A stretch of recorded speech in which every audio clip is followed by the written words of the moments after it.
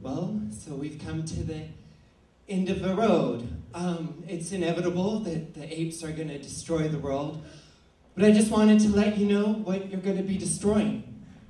I didn't want my life to go unremembered, so I present to you tonight my life, my funeral, my fun neural.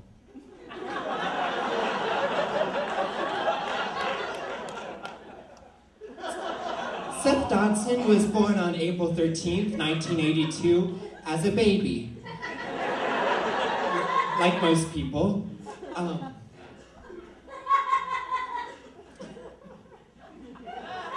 he did uh, the normal stuff that most babies do, like get drunk and uh, go to the zoo with his dad.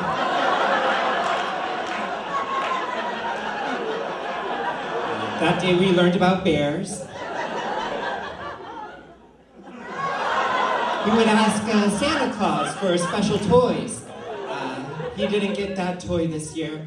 All he got were socks.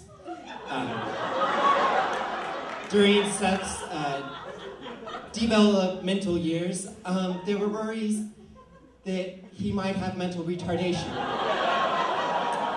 or cognitive dysfunction, uh, cerebral palsy. Um, so in 1992, he went to horse riding, horse riding camp to begin rehabilitation. Uh, he grew a strong love for horses, so much so that he grew a ponytail. Yes. After camp,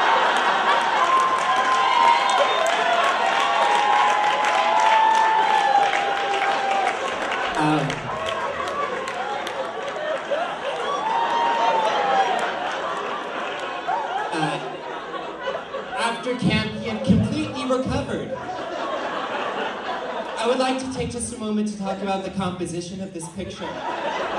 Um, the neon orange fanny pack, the bottle cap glasses, the shirt that says El Paso Rehabilitation Center, sweatpants. It is amazing that Seth lived to be this old. After camp, Seth gained the confidence to fully realize his gained the confidence to fully realize his dream of becoming a girl. This doesn't this didn't last very long when people on the street began to mistake him for his mother or a prostitute or both. In 1999, he decided he needed to, to straighten himself out. So he took his maid, he took his maid Consuela to the prom.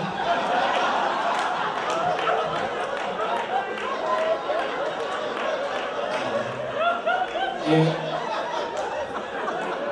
it was a night filled with many memories. That night, Consuela took Seth's virginity. His ass is still sore.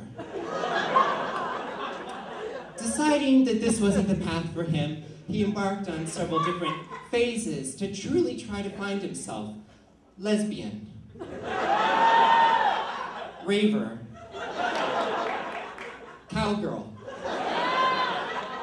Cirque du Soleil. There it is. Uh, note to Cirque du Soleil, uh, Seth was doing it first. Uh, in 2003, he entered a very dark period. And he got fat. All of this identity searching, however, it finally let Seth find his true voice. And it sounded gay. Gay. Gay!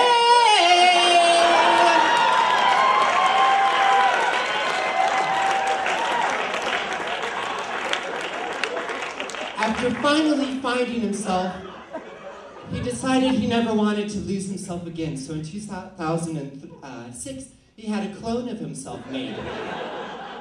This is Seth 2. Now, it's not Seth like the number two, like a robot, it's like Seth also. His name is also Seth. He lives in Seth's hamper. In 2008, he scored an invitation.